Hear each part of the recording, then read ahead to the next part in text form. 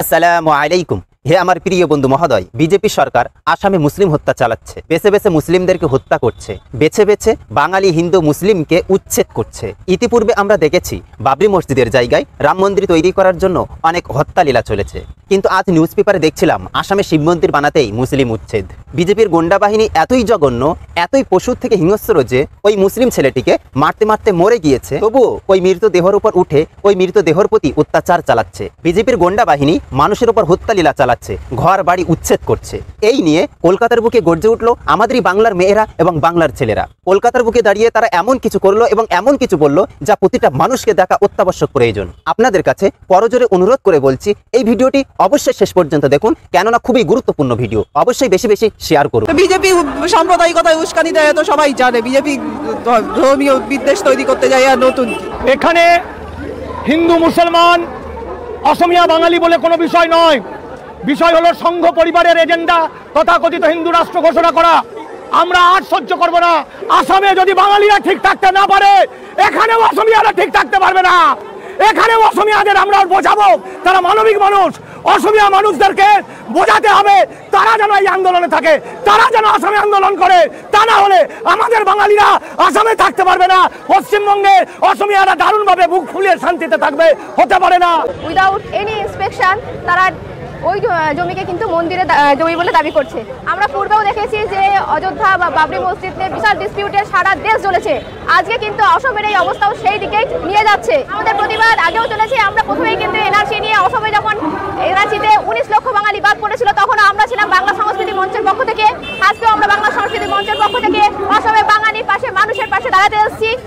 গত তিন দিন থেকে সেখানে তার উদ্বাস্তুদের উচ্ছেদের নামে মুসলিমদের হত্যার একটা বিরাট বড় ষড়যন্ত্র আসাম সরকার মানে বিজেপি সরকার বিজেপি পরিচালিত সরকার সেখানে গ্রহণ করেছে। তার হিস্সা হিসাবে আমরা দেখেছি গত দুদিন আগে যে আসামের দারাং জেলায় যে নির্মমতা চালানো হয়েছে, একজন মৃত মানুষের উপরে নৃত্য করা হয়েছে, তার উপরে গিয়ে ঝাঁপিয়ে পড়া হয়েছে। এতে আকাশ বাতাস থমকে গেছিল আসামের এই ঘটনা দেখে। মানবতার শ্মশান ঘাটে রূপান্তরিত করা হয়েছে আসামকে।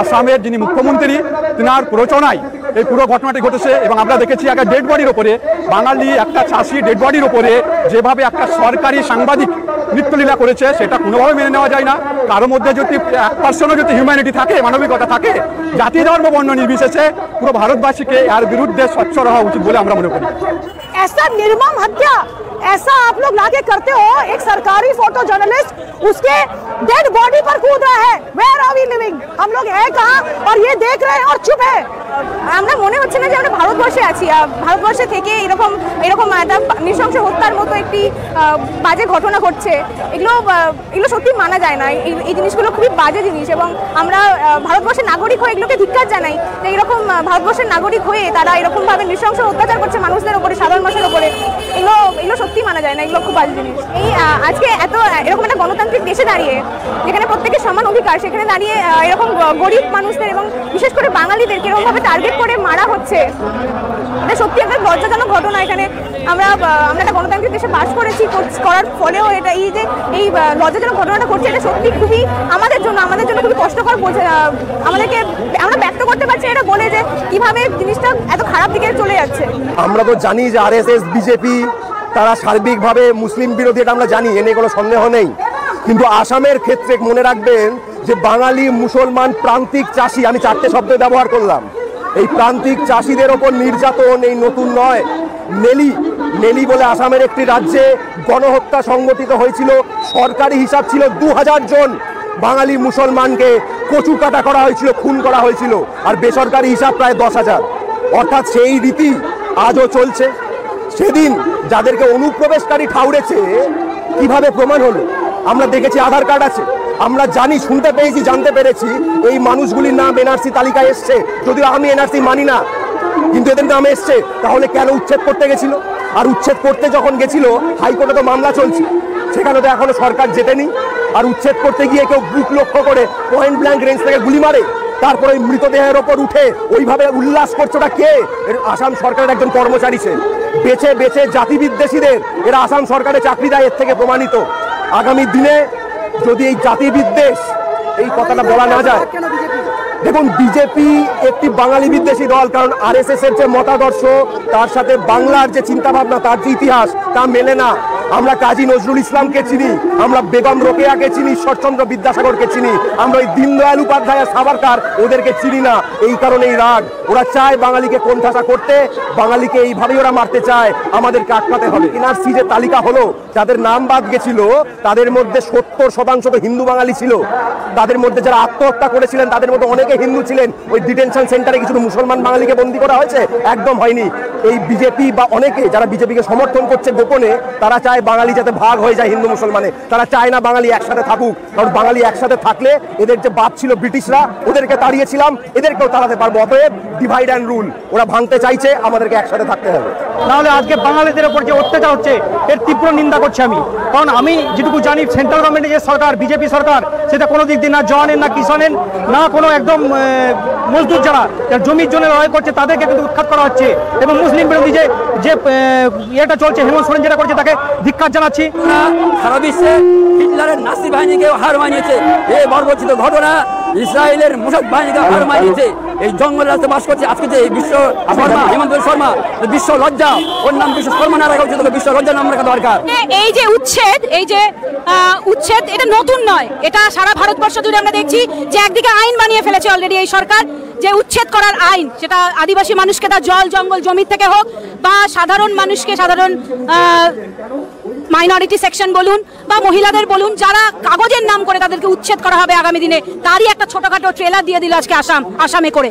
আমরা দেখেছি যে, ধরুন এনআরসি সি এর সময় থেকে এই সমস্যাটা শুরু হয়েছে আসামে, যে এনআরসি এনআরসি লিস্ট তৈরি হয়েছে আসামে, কিন্তু সেখানে যদি সবচেয়ে কেউ বাদ গিয়ে থাকে, সেটা হচ্ছে সেখানে আদিবাসী মানুষ এবং মহিলারা।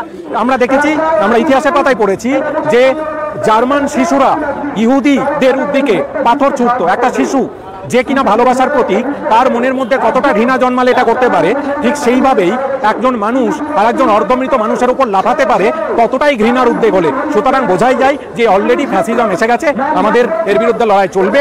সুতরাং হিন্দু মুসলমান নয়, এই লড়াই, এনআরসির বিরুদ্ধে লড়াই, প্রতিটি ভারতবাসীর লড়াই, প্রতিটি মূল নিবাসী মানুষের লড়াই।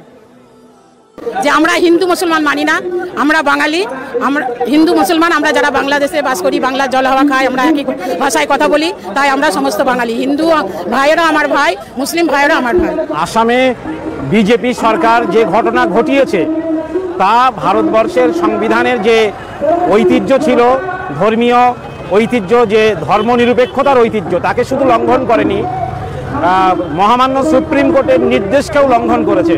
মহামান্য সুপ্রিম কোর্টের নির্দেশ যে কোভিড প্যান্ডামিকে দেশের কোনো জায়গা থেকে কোনো মানুষকে উচ্ছেদ করা যাবে না। অথচ সুপ্রিম কোর্টের সেই নির্দেশকে অমান্য করে শুধু উচ্ছেদ করল না, তারা সেখানকার নিরীহ মানুষকে পুলিশ দিয়ে হত্যা করল এবং পুলিশি হত্যা করার পরে আরএসএস এর কর্মী, চিত্র ফটোগ্রাফার হিসাবে সে মৃত দেহের উপরে নৃত্য করল।